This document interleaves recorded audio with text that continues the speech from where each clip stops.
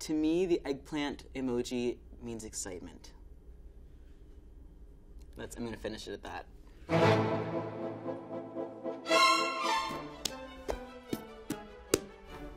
Eggplant.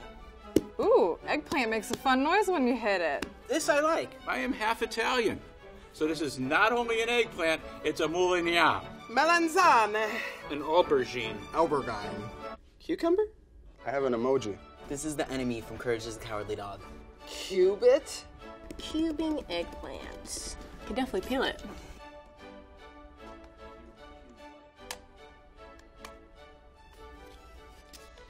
Hey, look.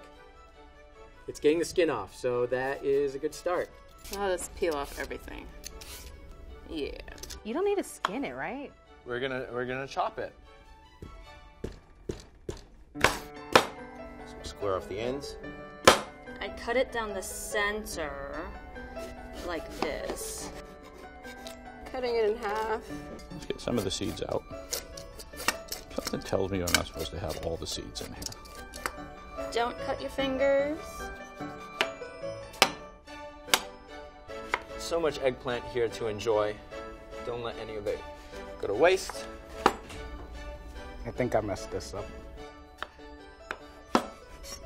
That's kind of a cube. I wonder if it bounces. Nope, not really. It's definitely the least efficient way to do this. I'm gonna see what this does. The Eye of Sauron. Aha! Ba, ba.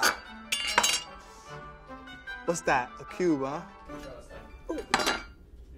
Yeah, I cut myself. I'm bleeding.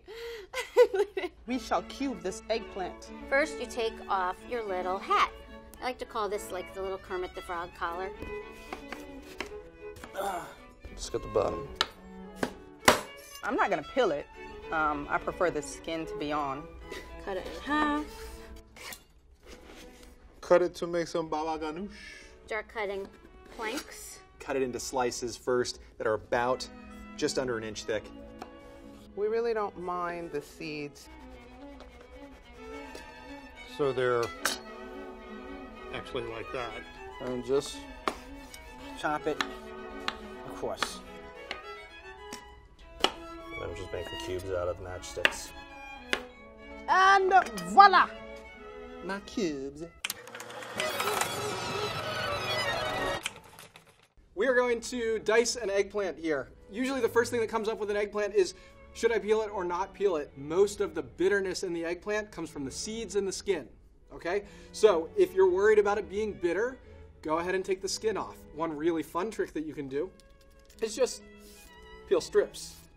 You get a little bit of the flavor from the peel without it being overwhelming. Get rid of the stem so that I don't have to cut through it. And then I'm going to cut my eggplant in half lengthwise all the way down. If I want to do sort of a half moon shape maybe for a roasted eggplant, I'm just going to come through and slice them just like this. If, however, I want to dice my eggplant or something like that, kind of pinch the top of the eggplant like that. And then I'm just going to make a horizontal cut across the eggplant like that. Turn this guy the other direction on the board, and I'm going to make two or three cuts so that I've basically cut a grid pattern into my eggplant. I'm going to take my knife, again, keep that hand nice and tight, fingertips tucked in, and I'm just going to come down and just glide right through that eggplant. Eggplants are nice and soft and easy to dice. And there we have our diced eggplant. That's a big handful of cubes, baby. Hmm.